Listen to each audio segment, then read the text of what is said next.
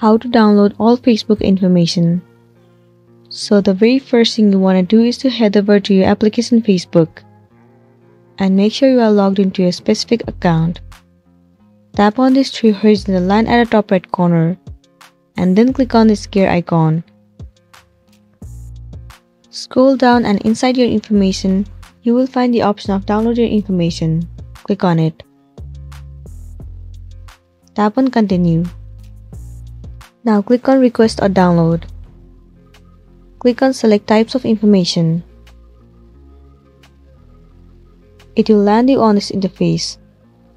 Now over here, in order to download all the information, all you want to do is to tap on select all.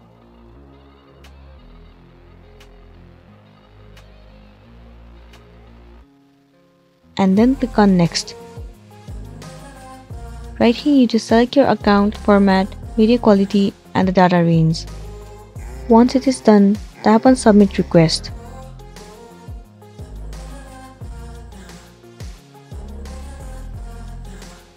There you go, the request has been successfully sent.